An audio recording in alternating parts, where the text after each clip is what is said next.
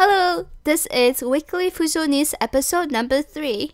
If you are new to this channel, remember to subscribe to the newsletter. Sign up to the newsletter if you want to receive additional information related to Fuzhounese and also be the first person to get notified when I have new content. So let's go ahead and get started with today's lesson. The first word we have is actually today. Today is 定南.定南天气也好. The weather is great today.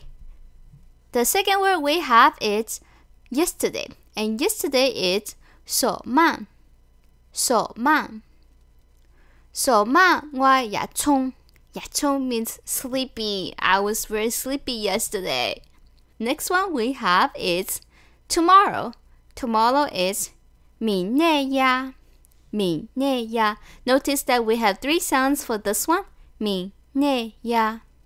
And the sentence we have is 明日呀一冬雨.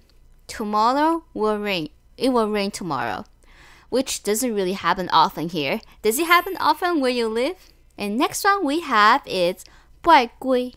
拜归 literally means day of the week X. So we are asking for what day it is or like what day you might be going or do something.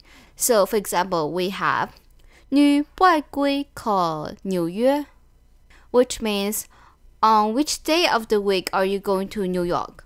If you want to learn how to say the days of the week, you can check out one of my previous episodes. I will have the link in the description as well as on the screen so that you can click on it and review your days of the week. Next one we have is events or matter, which is 大业,大业.你明日要做什么大业? What things do you need to do tomorrow? And the last one we have is Junbei. Junbei in here, in this example, I'm teaching it as plan, to plan something. So, 你准备 call dinner. Where are you planning on going to? Wow, it's so much shorter in uh, Fuzhounese. 你准备 call dinner.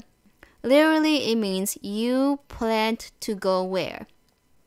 And then the last one we have is for advanced learners. So the sentence is 女最近也未变心，女顶男就造成了大业。